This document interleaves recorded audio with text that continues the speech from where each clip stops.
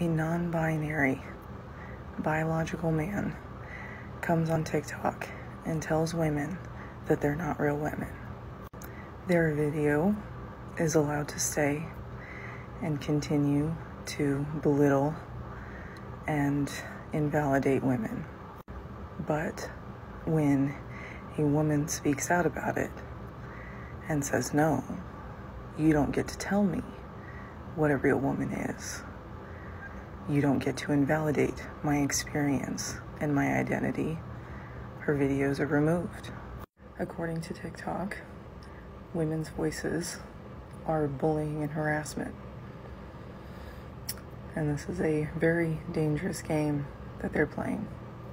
Women have fought too hard and for too long to be silenced. And to the people on this app trying to silence the voice of women, your cowardice is showing. But don't worry, women are tenacious and we will not be silenced.